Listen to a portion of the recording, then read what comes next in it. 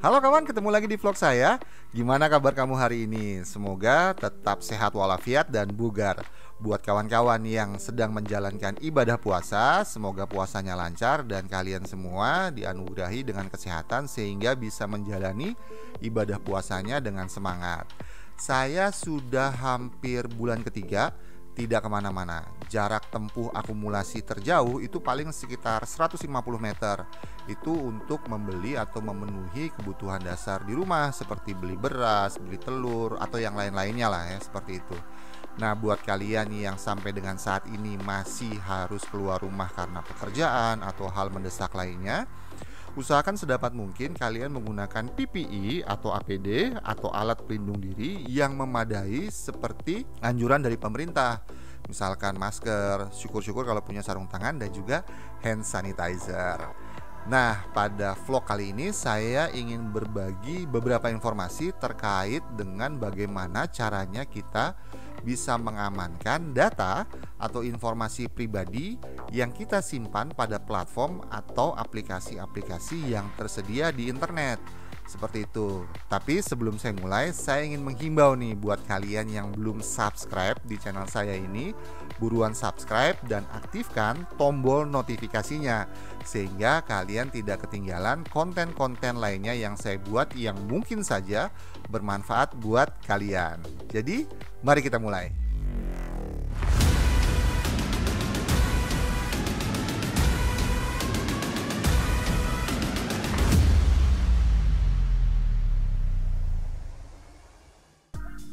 Nah, kawan, kiranya kita sepakat nih bahwa kondisi saat ini yang mengharuskan kita bekerja dari rumah, belajar dari rumah, beribadah dari rumah dan melakukan segala sesuatunya dari rumah itu membuat kita semakin tergantung dengan yang namanya internet, terutama apabila kita butuh untuk berinteraksi dengan orang lain. Mau tidak mau, kita membutuhkan internet.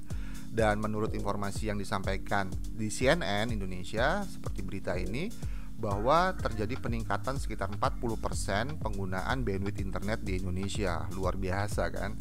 Namun sayangnya mungkin karena peningkatan itu lantas mengakibatkan gangguan layanan jaringan internet oleh beberapa ISP Internet Service Provider seperti yang saya alami dengan ISP yang satu ini saya mengalami kekecewaan sekali karena beberapa waktu yang lalu sempat putus tuh dan koneksinya sangat tidak stabil dan tentu saja berpengaruh terhadap aktivitas saya juga buat mereka yang berlangganan dengan ISP yang satu ini.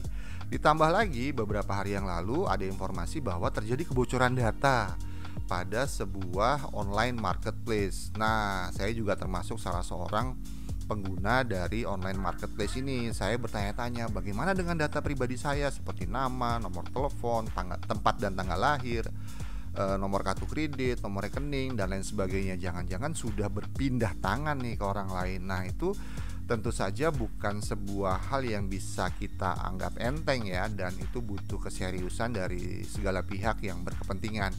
Nah, semoga saja uh, si online marketplace ini bisa segera memperbaiki kualitas layanannya dan benar-benar menjamin bahwa informasi atau data yang kita tempatkan di fasilitas mereka itu bisa aman. Seperti yang sudah saya sampaikan sebelumnya bahwa pada vlog kali ini saya ingin berbagi beberapa informasi tentang bagaimana caranya kita mengamankan data dan informasi yang sudah tersimpan pada platform atau aplikasi yang ada di internet. Cara-cara ini sebenarnya bukan cara-cara yang susah, cara-cara yang sangat mudah bahkan karena beberapa informasi yang akan saya sampaikan ini sebenarnya sudah merupakan fitur standar dari platform atau aplikasi yang ada di internet seperti di Google, di Facebook, di Instagram dan juga di Twitter. Nah, saya akan fokus terhadap empat platform atau empat online uh, social media ini bagaimana cara memanfaatkan fitur-fitur keamanan yang ada dan sudah tersedia oleh masing-masing platform. Nah kawan, fitur dan pengaturan data dan informasi yang pertama kali akan saya bahas adalah yang disediakan oleh Google. Kenapa Google? Karena Google itu penggunanya lumayan banyak, mungkin lebih banyak daripada penyedia jasa sejenis yang lainnya. Melalui Google kita bisa mencari informasi di google.com atau kita bisa menonton film, topik-topik tertentu di YouTube seperti itu. Saat ini saya menggunakan aplikasi Google Chrome sebagai browser saya Dan untuk memastikan supaya saya tidak bolak-balik login ke dalam akun Google saya, maka saya melakukan login terlebih dahulu ke akun Google saya melalui aplikasi Google Chrome. Teman-teman bisa lihat di sini ada foto saya. Ini menandakan bahwa saya sudah login ke dalam akun Google saya melalui aplikasi Google Chrome. Seperti itu. Setelah kita pastikan bahwa kita sudah login, ketik google.com, kita ketikkan Google account dan kita cari Google account. Ini adalah tampilan dari query atau hasil pencarian kita terhadap Google account. Lantas kita klik Google account dan yang muncul selanjutnya adalah halaman di mana kita bisa melakukan pengaturan atau mengamati informasi terkait dengan Google account kita. Di sini ada menu-menu tentang personal information, data dan personalization, security, people and sharing, dan payment dan subscription. Payment dan subscription itu adalah metode pembayaran kita dan langganan kita di Google. Misalkan di Google Play dan uh, Google Movie atau lain sebagainya. Seperti itu. Yang pertama kali kita akan lakukan adalah kita klik manage your data and personalization. Pada menu ini teman-teman bisa lihat kita bisa melakukan check up terhadap privacy kita. Take, the privacy check up. Lantas kita bisa menyimak uh, aktivitas kita. Iklan activity dan timeline serta sejarah-sejarah kita pernah ngapain sih dengan akun Google kita dan seterusnya. Saya tidak akan membahas satu persatu secara dalam, melainkan beberapa fitur yang menurut saya penting. Nanti teman-teman setelah tahu caranya di mana, lokasi pengaturannya di mana, nanti teman-teman bisa coba sendiri. Bisa melalui ponsel maupun melalui komputer. Saya menyarankan menggunakan komputer saja karena lebih mudah. Kita akan melakukan privacy checkup terlebih dahulu. Nah, ini adalah halaman privacy checkup. Halaman privacy checkup. Melalui halaman ini kita bisa melakukan pengaturan terhadap aktivitas aplikasi dan web kita. Apakah ingin dimonitor atau tidak? Dalam hal ini saya sengaja mengaktifkan untuk turn on. Jadi saya atau orang lain yang punya akses ke dalam akun Google saya itu bisa melihat ladung nih ngapain aja sih di internet, hmm, aplikasi yang digunakan di ponselnya itu ngapain saja dan lain sebagainya. Selanjutnya location history. Ini juga penting, terutama teman-teman yang menggunakan aplikasi Google Map. Kenapa? Karena Google Map itu memanfaatkan rekaman yang ada di sini. Sehingga kita bisa kemudian hari, oh saya pernah ke Raja Ampat misalnya. Kapan? Itu kita bisa melihat di location history. Selanjutnya ada YouTube History. Sesuai namanya YouTube History, sejarah YouTube. Ini menyimpan informasi segala sesuatu yang kita tonton di YouTube, apa saja yang kita cari di YouTube. Dalam hal ini saya tidak ingin YouTube mengetahui saya pernah nonton apa saja. Saya tidak ingin menget YouTube mengetahui saya pernah mencari apa saja di uh, YouTube seperti itu. Saya tidak akan klik next. Kenapa? Karena saya ingin teman-teman mencoba sendiri setelah tahu di mana pengaturannya. Seperti itu. Selain itu, ini juga sudah settingan maksimal saya jadi supaya saya tidak dua kali setting. Seperti itu ya. Kita tombol back. Yang juga penting adalah fitur mengenai security Nah, ini adalah halaman di mana fitur security diatur untuk uh, akun Google kita. Teman-teman bisa perhatikan di sini, saya mengganti password terakhir itu pada tanggal 3 Mei. Saya sudah mengaktifkan two-step verification. Two-step verification ini maksudnya adalah ketika saya melakukan login ke akun Google saya, katakanlah Gmail gitu ya, pada sebuah komputer, baik itu milik pribadi maupun bukan, pinjam punya orang misalnya gitu. Tapi saya loginnya misalkan dari Australia. Sedangkan dalam kurun waktu tiga tahun terakhir saya belum pernah ke Australia. Nah kemudian ketika saya login Google akan mengirimkan notifikasi ke nomor yang terdaftar dan terkait dengan akun Google saya. Sehingga ketika saya memasukin username dan password tidak bisa serta-merta langsung login. Nah di situ kita membutuhkan informasi tentang recovery phone, recovery email, dan security question. Teman-teman bisa lihat saya sudah mencantumkan informasi-informasi tersebut. Ini sangat penting.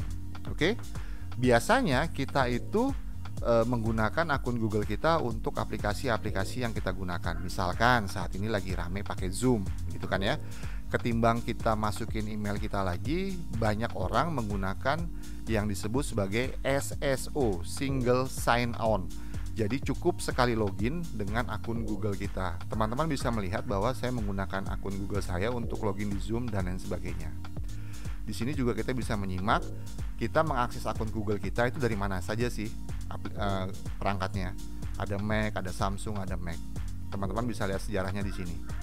Dan seterusnya. Nah, inilah kira-kira beberapa informasi yang penting terkait dengan akun Google yang perlu teman-teman ketahui dan perlu teman-teman uh, pelajari lebih lanjut karena informasi-informasi yang terdapat dalam halaman ini amat sangat penting terkait dengan keberadaan informasi kita di akun Google. Setelah tadi kita membahas mengenai bagaimana pengaturan data dan juga privasi kita di akun Google, saat ini saya mau menjelaskan tentang bagaimana caranya kita melakukan pengaturan terhadap bagaimana data dan informasi kita di Facebook. Tapi sebelum saya mulai, saya ingin menghimbau supaya jangan lupa untuk subscribe di channel ini dan aktifkan notifikasinya. Juga follow saya di Instagram. Secara fungsi sebenarnya fitur pengamanan data dan informasi pribadi kita kalau di Facebook itu mirip-mirip dengan yang ada di Google. Hanya saja kalau di Facebook itu jauh lebih sederhana dibandingkan dengan di Google. Mungkin wajar karena Google produknya banyak, ada Gmail, ada YouTube dan lain sebagainya. Sedangkan kalau Facebook itu hanya ada Facebook dan Instagram. Nah, saat ini saya menggunakan dua jenis atau dua versi uh, Facebook. Ini adalah tampilan Facebook yang lama, sedangkan saya bisa mendapatkan kesempatan untuk mencoba uh, Facebook versi yang baru. Saya nggak tahu nih, mungkin kalian juga ada yang mendapatkan kesempatan untuk mencoba Facebook versi yang baru. Tapi malam ini saya akan fokus pada tampilan Facebook versi yang lama. Nah, untuk mendapatkan menu pengaturan data dan informasi, kita tinggal klik tanda panah yang ada di pojok kanan atas. Oke, lantas kita pergi ke setting, kita klik setting, maka akan muncul halaman General Account Setting. Kurang lebih sama kan seperti Google, hanya bentuknya yang sedikit berbeda. Sedangkan pada Facebook versi yang baru sama, yaitu klik tombol yang pojok kanan atas, lantas kita klik setting and privacy dan di situ ada beberapa macam fitur yang uh, bisa kita pilih. Oke, okay? tapi seperti yang sudah saya sampaikan sebelumnya, saya akan fokus dengan tampilan uh, Facebook yang lama. Nah, pada general account setting di sini terdapat nama, username, kontak. Uh, untuk iklan ini adalah add account contact. Jadi kalau misalnya kita ingin beriklan, kita harus menggunakan uh, email juga, bisa email yang sama atau email yang berbeda. Terus kalau seandainya kita meninggal, maka akun kita di Facebook ini akan bagaimana pengelolaannya disediakan juga oleh Facebook dan untuk melakukan konfirmasi identitas kita apakah itu KTP dan lain sebagainya. Nah, di sini di Facebook itu ada menu security and login. Nah, sama seperti Google tadi, kita bisa melihat bahwa saya teridentifikasi, terdeteksi oleh Facebook mengakses Facebook dari Jakarta dengan menggunakan komputer Mac. Dan juga ada menggunakan komputer apa handphone Samsung seperti itu. Di sini kita bisa menemukan fitur untuk mengganti password, menyimpan informasi loginnya kita. Sama seperti Google tadi kalau di Google disebut sebagai two step verification kalau di, Facebook disebut sebagai use two factor authentication seperti itu Nah, ini bisa kita aktifkan dengan catatan kita harus mencantumkan nomor telepon. Lantas kita bisa memeriksa authorize login. Login-login apa saja ke Facebook kita yang di authorize. Misalnya saya menggunakan dua atau tiga handphone, maka tiga tiga handphone itu harus saya otorisasi sehingga saya bisa menggunakan uh, Facebook pada ketiga handphone tersebut. Lantas kalau misalkan kita menggunakan aplikasi-aplikasi tertentu yang single sign on dan terafiliasi dengan Facebook, maka kita juga bisa menambahkannya di sini. Lantas beberapa menu atau fitur tambahan terkait dengan security. Misalkan mendapatkan alert atau pemberitahuan ketika ada orang yang mencoba atau attempt login ke akun kita, maka kita akan diberitahu seperti itu. Nah, kalau misalkan kita tanpa sengaja atau ada hal lainnya lantas akunnya itu di lock, maka Facebook nanti akan memberikan pilihan kepada kita untuk menghubungi 3 sampai dengan 5 orang teman kita yang bisa memberitahu bahwa ladung itu sedang di lock seperti itu. Selanjutnya ada uh, fitur untuk mengenkripsi email yang datang dari Facebook. Lantas kalau misalkan kita ada apa-apa dengan akunnya, lantas kita bisa menentukan nanti informasi mengenai akun kita itu akan dikirim ke email apa seperti itu dan terakhir adalah fitur tentang uh, kita bisa melihat email terakhir dari Facebook yang masuk ke inboxnya kita itu uh, tanggal berapa apa isinya dan lain sebagainya kira-kira seperti itu nah ini adalah menu yang terdapat uh, fitur-fitur yang terdapat pada security and login Sedangkan your Facebook information ini adalah segala sesuatu yang terkait dengan akun Facebook kita. Uh, akun yang informasi yang terdapat pada uh, halaman ini bisa kita download sebagai arsip seperti itu. Selanjutnya yang juga penting adalah mengenai privacy. Nah, di sini kita bisa lihat pengaturan tentang privacy. Di sini kita bisa menentukan kalau saya posting kemudian hari itu siapa yang bisa melihat? Apakah publik ataukah orang-orang tertentu? Apakah hanya teman-teman kita uh, yang ada di Facebook atau bagaimana? Seperti itu. Dan di sini juga ada settingan kalau misalkan uh, akun Facebook kita itu available for public dalam artian bisa di search di Google ya kita tentukan di sini. Tapi kalau tidak ya tidak. Seperti itu. Ini di privacy setting and tools. Lantas selanjutnya ada timeline and tagging. Timeline itu jelas ya lini masanya kita di Facebook. Sedangkan tagging itu adalah misalkan ada teman kita yang posting foto, lantas teman kita akan ngetek kita di foto itu. Nah, sebelum tagging itu masuk, dia biasanya minta info, apa e, persetujuan dulu kepada kita apakah bisa di tag atau enggak. Karena kadang-kadang ada postingan yang entah siapa lantas main tagging tagging aja. Nah, di sini pengaturannya kita lakukan, gitu. Sama seperti di Instagram, di Facebook juga sudah ada stories kan. Nah, di sini kita bisa melakukan pengaturan terhadap itu. Saat ini masih ada dua fungsi saja yang yang disediakan oleh Facebook. Selanjutnya adalah lokasi. Saya menetapkan untuk mengonkan lokasi sehingga kalau misalkan saya ke daerah tertentu saya bisa check-in. Check-innya itu langsung identifikasinya tempat yang bersangkutan. Seperti itu. Lantas ada menu untuk blocking, kita bisa ngeblok orang-orang yang tidak kita inginkan setting ter terkait dengan bahasa dan regional uh, bahasa yang kita gunakan apa, lantas kita menggunakan format penanggalan dan waktu yang seperti apa, uh, mekanisme pengaturan apakah Celsius atau Fahrenheit dan sebagainya.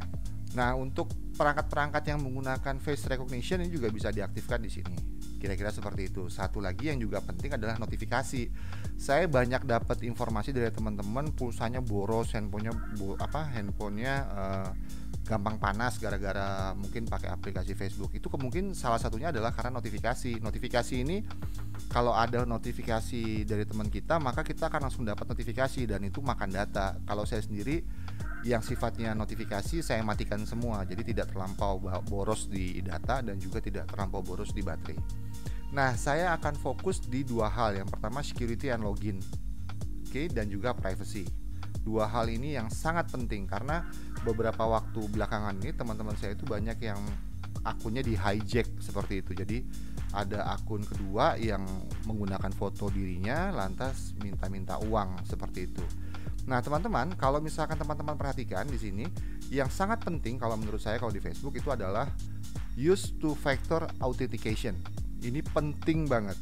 Sehingga apa? Ini bisa membantu kita untuk menghindari terjadinya login tanpa kita kehendaki. Jadi misalkan uh, akun kita akan di hijack oleh orang lain itu atau diretas oleh orang lain.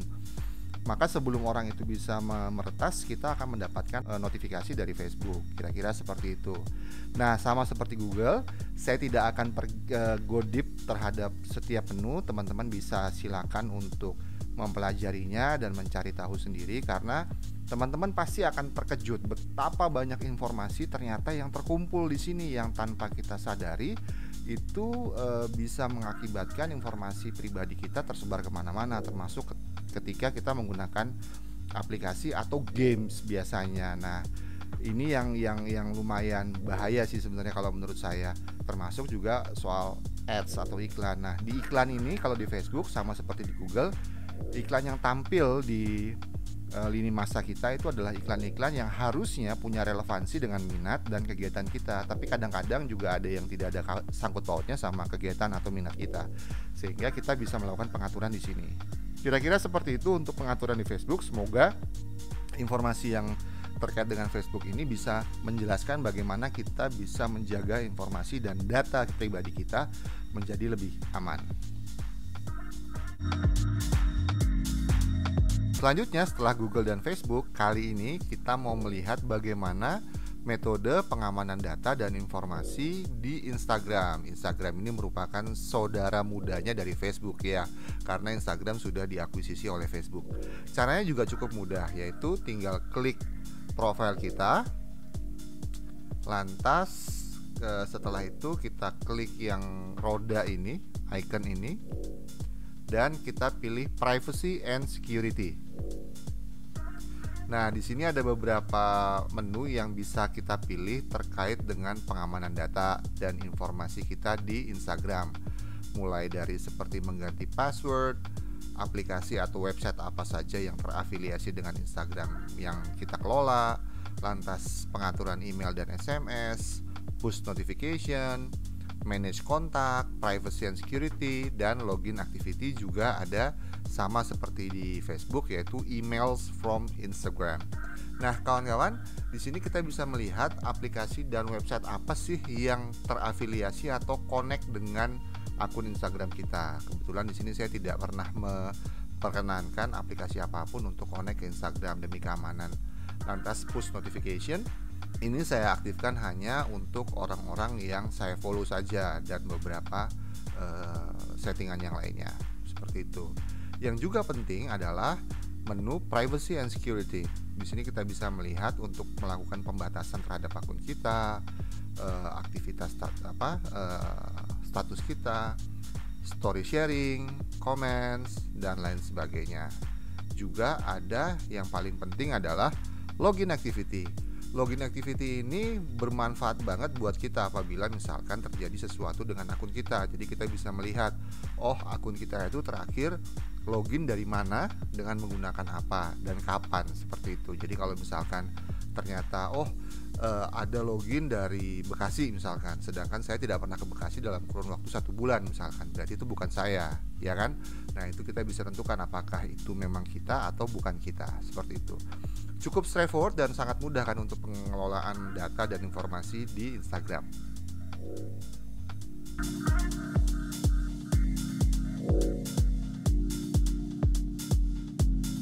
Dan yang terakhir terkait dengan pengelolaan data dan informasi pribadi kita adalah Twitter. Di sini saya sudah masuk ke akun Twitter saya. Lantas kita klik more. Di sini ada setting and privacy, kita klik itu. Dan di sini kita bisa menemukan beragam informasi dan juga menu yang bisa kita pilih untuk pengelolaan data dan informasi pribadi kita di Twitter. Kalau kita ke account di sini ada username, ada nomor telepon, ada email, ada password, ada security dan hal lain terkait dengan data dan izin-izin yang kita berikan. Apakah itu terkait dengan aplikasi-aplikasi lain dan lain sebagainya. Seperti itu. Oke, terkait dengan security, di sini kita bisa lihat ada sama seperti Facebook, sama seperti Google, sama seperti Instagram, ada two factor authentication pilihan ini. Saya menyarankan sebaiknya diaktifkan. Di sini saya sudah mengaktifkan, jadi kalau misalkan ada login ke Twitter saya, maka saya akan mendapatkan notifikasi baik itu melalui SMS maupun notifikasi melalui aplikasi seperti ini. Oke. Nah, selanjutnya juga ada password reset protect. Jadi ketika misalkan ada yang ingin mereset password saya di Twitter, maka tidak dengan serta-merta bisa di-reset, melainkan harus melalui beberapa prosedur seperti itu. Nah, sekarang kita ke menu privacy and safety. Di sini kita bisa lihat ada protect your tweets, ada location information, ada photo tagging. Jadi kalau misalkan uh, kita posting foto di Twitter, apakah foto itu akan disertai dengan informasi mengenai tempat di mana foto itu diambil atau tidak, seperti itu.